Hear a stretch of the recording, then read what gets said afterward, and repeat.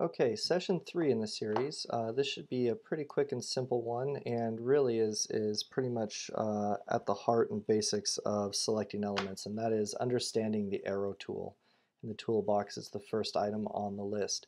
Um, so the first thing to note, uh, since everybody kind of has freedom to uh, change their own work environment, is that this info box palette should be part of your work environment. If this isn't part of the work environment, um, make sure you update your work environment to include this there are a lot of items, not just on the arrow tool, but for all tools in general, that are only available in the info box. Uh, for example, there are no arrow settings outside the info box.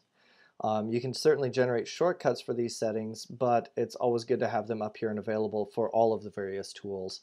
Um, you know, the wall tool, for example, has geometry method that's only available in the info box. Uh, but as far as the arrow tool goes, there are these four settings right here. Uh, and we're talking specifically about what these mean for selecting items. Uh, so the first option in the, uh, in the info box here on the arrow tool is the selection method. Uh, and you'll notice that there's three different options. Uh, the little diagram, once you understand what it's trying to illustrate, uh, makes sense. but basically this first option says that if I cross over part of any element or completely over any element, it will select it. So I can see here these slab pieces. Uh, if I cross over that corner, it's going to select those slabs. Uh, the next one, uh, if I do that same thing, you'll notice it's not selecting that slab. It will only select the slabs if you either click on it or drag completely over it.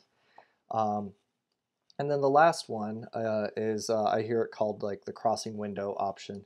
Uh, and that basically is a variation on the first two. So if I select from left to right, for example, it will only select the elements entirely within that crossing window uh, right to left, it selects everything that that window crosses over, whether it's on an edge or entirely within the element. Uh, next is geometry method uh, of the, the arrow selection. And to be honest, I almost always just leave this as uh, the square marquee. And it really, if you're using the crossing window and then holding shift, for example, to drag select and grab various elements, um, it's it's just as quick as any kind of custom marquee or even quicker in the in most cases. Um, so that's the selection type and the geometry. And then third option is this quick selection um, uh, option. And this can be on or off by default, but the shortcut for turning that on or off is the spacebar. Um, I always have this on by default, and if I want it off, I just hold down spacebar. So what this does, if I hover over the surface of an element, uh, it's going to show that little magnet icon, uh, same as the icon in the info box. Uh, and that's saying that I'm selecting the surface of this element. So if I wanted to combine these, uh, for example, using the crossing window and selecting this group of slabs, for example, I, yeah, I can sit here and, and hold shift and click on each of these uh, it's a very tedious way to select those elements. Uh, the faster way is to hold down shift and space combined so that I can, for example, drag left to right over these slabs and then I grab those slabs. Um, you'll notice that I grab some other things so I can hold shift and deselect the pieces that I don't want and it's infinitely quicker to do this than it is to sit there and meticulously select every slab.